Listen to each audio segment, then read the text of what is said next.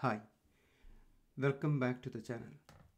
Today we are tackling a question I have seen pop up quite a bit that's regarding the Microsoft Forms. So here is my form and I have got two questions here. One is the name and number two is the upload file. Suppose, uh, okay, the, my name is going to be mandatory field and the upload file is not mandatory so how to handle the, you know the optional field the mainly the upload file? So in community lots of people ask uh, asked this question um, many times oh, how how do i know the user has uploaded the file? Because the situation is it's an optional uh, question.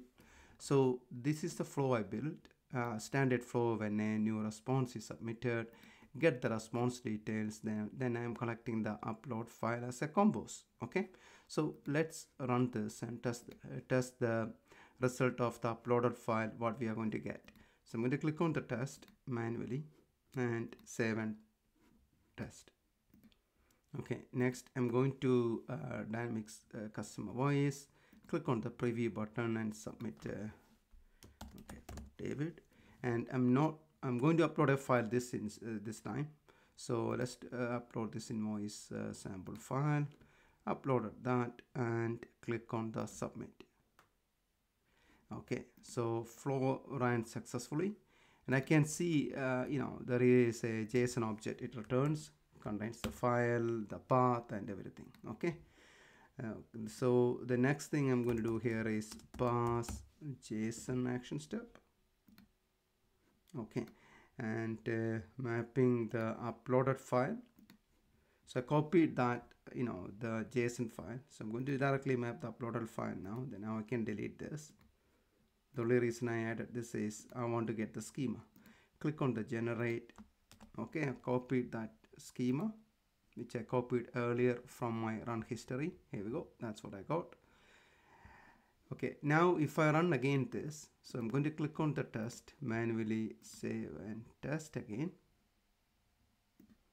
Right let's go back here and um, click on the back button preview. Okay David I'm not going to submit the file this time. Okay submit. So let's see. Here we go flow failed it says it's the required property it's a required and we got null yeah. So how do we tackle that? You know this is the question i have seen many times in the community. So in this situation what we need to do here is add an action step uh, just above the parse json step and see the mapping uploaded file. All you need to do here is map the file uploaded file is not equal to is not equal to blank. Just leave it as blank nothing else. And drag and drop over here okay? Now test um, I'm going to use the run history because I don't want to submit another one. See the last failed? Save and test. So let's see what it's going to happen now. Here we go. So that's ran successfully. This time it is not equal to blank so it's false so it won't go to you know the next step. So this is a technique you need to do it. So now if I test with um, another file click manually click on the test go to the survey back button preview. Okay. Upload a file.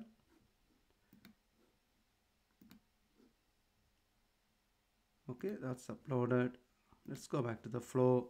Flow is running now and uh, see what we are going to get. So this time see it's not equal to you know the blanks. It is true then.